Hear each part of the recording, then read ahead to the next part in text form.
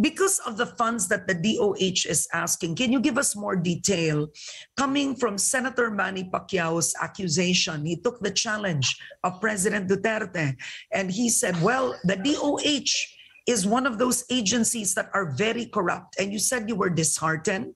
You said you believe Manny was misinformed. But Manny's, um, Se- Senator Manny's statement was supported also by many in in doubting the DOH performance and spending. Saan po ba napupunta, Secretary? Maybe you can read some of your utilization reports.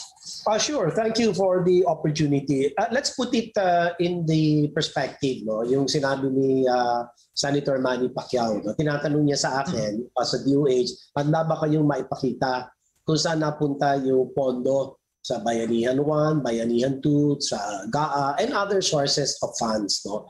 And sabi ko nga sa kanya, yes, we are ready. Ready, ready, handang-handa po tayo na ipakita. Because that is also uh, the uh, duty and the responsibility of uh, the DOH to give a uh, report on budget uh, utilization. So now, for Bayanihan 1, as of December 31, 2020, no, uh, yung, uh, yun yung prescribed period for its uh, disbursement.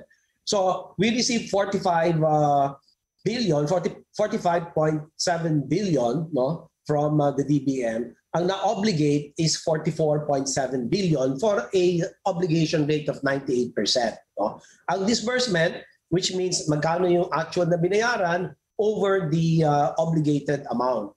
Uh, it is 41.8 billion, so that is equivalent to 93%. So may balance tayo na for allotment is 975 million 602,000. So lahat po itong mga report na ito, pinadala ko na kagabi kay uh, Senator Manny Pacquiao. It's Mm. unfortunate that Okay. uh, during the eight-hour uh, marathon hearing last June 14 about the uh, budget uh, required for the uh, national uh, vaccination program against COVID, wala naman na itanong ni isa tungkol Mm. doon sa budget. So, Kumbaga, he, he did not challenge you then. Yeah, yeah, wala. have wala talaga. answered. Yeah, and we did explain. Uh, in fact, uh, Secretary Carlos uh, Dominguez, Secretary Charlie Galvez, and myself, and other officials, Secretary Wendell Avisado, had explained uh, where the money is coming from, the loans in particular, and how they're going to be spent for our uh, vaccination program. So let's go to Bayanihan 2, uh, Karen. No? Sa Bayanihan 2, ang uh, ang total uh, allotment uh, for 2020, this is uh, period covering October 29, 2020 to June 11, 2021. Okay? For year 2021, meron 17.2 uh, 65 uh, billion na obligate is 15.045 billion for an 87% obligation rate. Now, the disbursement uh, is 10.67 billion thereabouts, no? Uh, for a 71% uh, disbursement over obligation uh, rate. So there is a balance of allotment of 2.2 billion, uh, Karen. So again, Okay. I also uh, most of the funds, by the way, for uh, the procurement of uh, face masks, the RT-PCR test, yung sinabi rin ni Senator Manny, with all due respect, na bumili daw ang DOH ng rapid test kits, hindi po totoo yan. Hindi po kami gumagamit at uh, uh, bumibili ng rapid test kits. Ang binibili po natin is still the gold standard RT-PCR test kits. And the uh, personal protective equipment, the face mask, and other uh, supplies, bulk of these, about 47 billion, we gave to the uh, PSDBM, being the procurement uh, arm of the national government. So kasi nagmamadali nga tayo, emergency, uh, as a pandemic tayo, we want to get the supplies as quickly as possible, no, as part of Mhm. our uh, response. So I talked to uh, Yusek uh, Lloyd Lau the other night, and he said he's ready to also show uh, the uh, budget utilization and Mhm. that uh, all transactions are above board. So, yun lang. Oo. So, fact, and- doon sa, yeah. doon sa, patapusin lang natin, no? kasi yung Yeah, sa yeah. ah, mainit na usapin din yung pondo for the ah, vaccines, no? Lahat po itong mga pondo na ito, ang nagbabayad ay ang mga multilateral funding uh, agencies, World Bank, ADB, and the Asian Investment Infrastructure uh, Bank. And uh, lahat ng pondo na ito, hindi ito dumadaan sa kaban ng uh, Department of Health or uh, in other government agencies no? because they're the ones who pay directly to the vaccine manufacturing companies. So yan po ang masasabi natin at uh, ang governance standards in the implementation of those contracts uh, are really very high. You know, there's ADB, World Bank, AIIB. No? Hindi pwedeng... Uh, So what you're saying is imposible ang kickback pag Yes. ganit, sa ganitong sistema. Uh, definitely. Zero, zero uh, way that uh, a kickback uh, can uh, go through. Mm-mm. Okay, uh, moving forward, so um, will you be called to the Senate? I'm curious if this is moving forward. You are asking, or the senator is asking for you to uh, report this utilization rate in the Senate soon? So, of course, in fact, I already uh, sent the uh, documents last night as Okay. I uh, committed. So, if there is any hearing, and we'll be very glad to uh, to be there and to uh, show a full accounting of uh, all the funds or budgets that have been uh, allocated to the DOH. Okay, uh, talking about the travel ban, uh, right now, so um, the government has extended restrictions on UAE, Oman, India, Bangladesh, Pakistan, Nepal, Sri Lanka until July 15. Should we already impose a travel ban against Indonesia? Uh, well, this is being uh, studied by our uh, technical advisory group of experts, no? And uh, I uh, understand uh, that there are already many countries where the Delta variants have uh, invaded, no? And uh, in fact, even uh, UK uh, also has very high uh, Delta variant cases, no? But uh, what is important, Karen, is a uh, very stringent border control. The quarantine protocol has to be uh, strictly uh, enforced, which Mhm. means they have to be quarantined uh, 10 days in the uh, government uh, appointed facility, uh, test on the seventh day, and uh, the remaining four days to complete the uh, quarantine period will be in the local government unit of residence. Mm-mm. Okay, so this is how we were able to catch uh, the 17 Delta variants that have been identified and sequenced uh, by the Philippine Genome Center. Okay, I know that you had a special session, so to speak, in Cebu, uh, wherein uh, Governor Gwen Garcia was still um, asking for considerations regarding the Cebu protocols, which she says works for the province. Three days quarantine in a hotel facility. And if you test negative, you do it at home. And when you think about it, what's wrong with that, uh, Secretary? It seems more cost efficient. Also for um, mental health. Ang dami nang nalulok at nasisira ulo halos, di ba? Secretary, na 10 to 14 days kang nasa loob ng hotel room. And less cost for the government. And for middle-class Filipinos na bumabalik, medyo nakakatipid ka din. I know a family spending 100,000, 200,000 in hotel stay pagbalik ng Pilipinas, sir. Tama naman lahat yung uh, binanggit mo. But tandaan natin that uh, we put this in the uh, right context. We are in a state of public health emergency. We don't want to be India. We don't want to be other countries. Now, even Indonesia is uh, really uh, rumaragasa ang kanilang uh, COVID cases and uh, predominantly Delta variant. No? And these are costly lessons that we need to learn from, no? the experiences ng ibang bansa. And why did that happen to them? nag-relax sila. They loosened up a lot of the restrictions. So para sa akin, what's the choice? But it's not, it's not an excuse for us not to uh, to respond to those needs. For example, the president has already ordered the DBM. Make sure na babayaran yung mga quarantine uh, facility uh, na mga hotels. No? Uh, in fact, even for the ROFs, pinapahanapan na rin ng budget ni presidente para nga uh, makagaan naman sa kanilang bulsa yung uh, uh, uh, bayarin ano sa mahabang uh, quarantine period. In the end kasi, the longer you uh, hold a person in quarantine, a traveler, the less the chance of your transmission risk. the CDC USA has very uh, clearly uh, elucidated on this. No? So kung one day ang quarantine uh, period of a person, so asymptomatic siya uh, and uh, uh, wala pang test, uh, uh, yung first day will lead to a 60%, more than 60% uh, risk of transmission.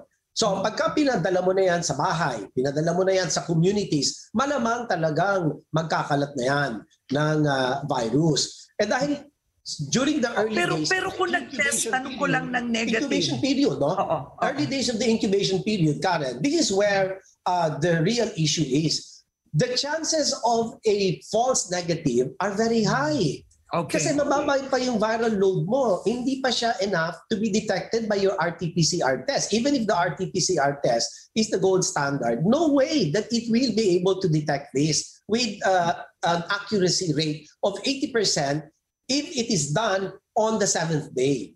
Because if you do it on the seventh day, okay, the chances of transmission is very low, 2.7% according to the CDC uh, Okay. study. I'm curious at what rate, just quickly, Secretary, are we looking at before quarantine uh, period can be relaxed? Uh, let's say you- uh, and you can do it at home.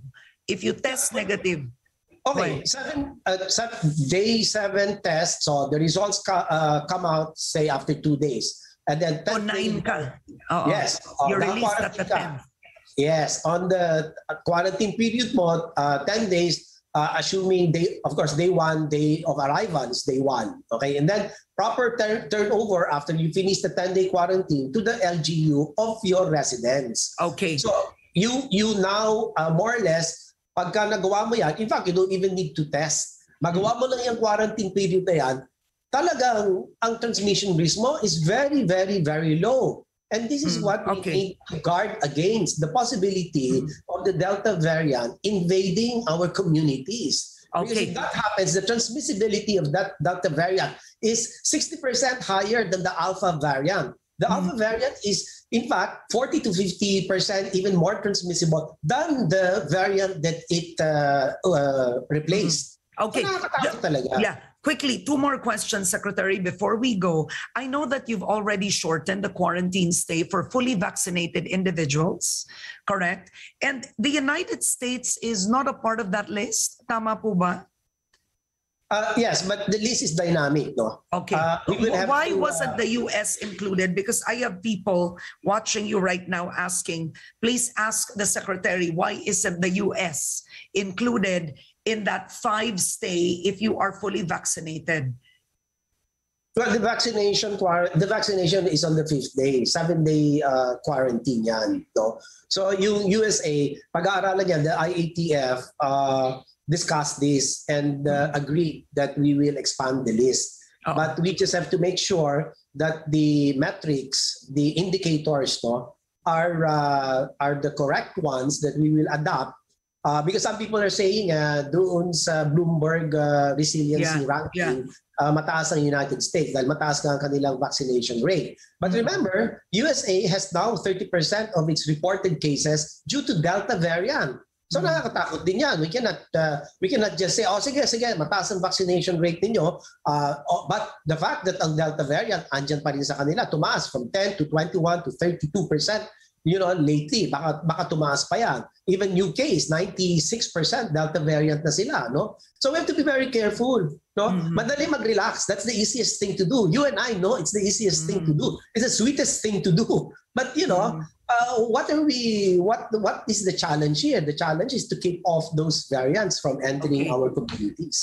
My last question is how does the government respond that the Philippines ranks very low? It's 52nd out of 53 economies, kumbaga second to the last in the Uh, global it- study, okay, of resilience. How do you respond to that, uh, Secretary? Because uh, clearly their indicators considered the percentage of people who have been vaccinated, the severity of the lockdowns, flight capacity, vaccinated travel routes, one month cases per 100,000. How do you defend the Philippines with this Bloomberg study that we're doing poorly? Uh, well, you know, I'm sorry to say this, uh, Karen. if you look at the uh, parameters that you enumerated, these are so skewed to a high vaccination rate.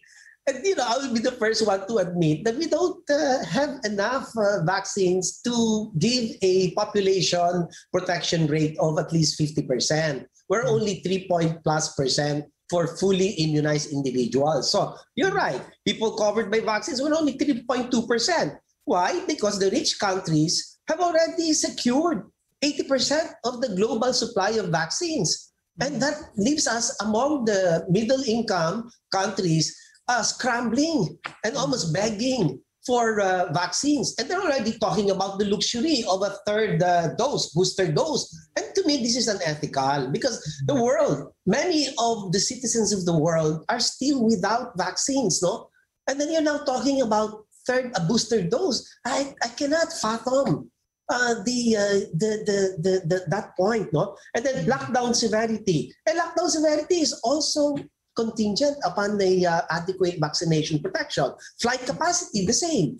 The vaccinated travel routes, the same. No? But, however, if you look at the other metrics, month uh, cases per 100,000, we're okay. We're na, na, blue nga tayo. Mataas tayo. Ibig sabihin, uh, mataas ang ranking, ang rating natin pero mababa yung ranking natin because the lower you rank, the better your uh, response is. For example, one month case fatality rate, were uh, uh, actually 2, 2% uh, for, for the last month. But if you look at the community, we're 1.7%, even lower. Uh, death per million, we are uh, 221. We, yeah. Ang ranking natin, 113 tayo. That's okay. Kaya nga hindi nga tayo so, So you feel the study is unfair?